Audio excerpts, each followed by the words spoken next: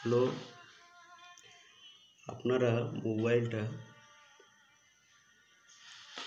বাচ্চা, কাচ্চা ও বয়স্ক মানুষের থেকে দূরে রাখবেন। এটা বাচ্চা, কাচ্চা ও বয়স্ক মানুষের ক্ষেত্রে খুবই ক্ষতিকর। এখানে দেখছেন এফএম চলছে। এটা হেডফোনটা অ্যান্টেনার কাজ করছে। অ্যান্টেনাটা শব্দ তরঙ্গকে টানছে।